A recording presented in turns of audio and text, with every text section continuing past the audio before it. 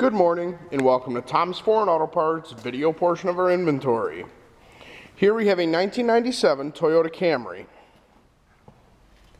This vehicle is a 2.2 liter California emissions engine.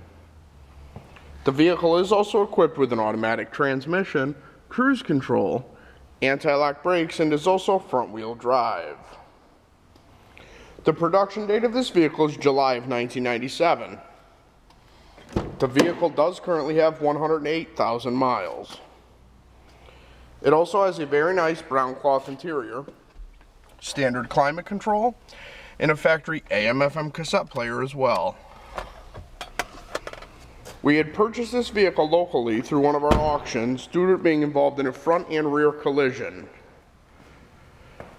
The vehicle does still have several good body parts, and you can also visit us on the web at www.tomsforeign.com. This concludes the video portion of our inventory. Thank you.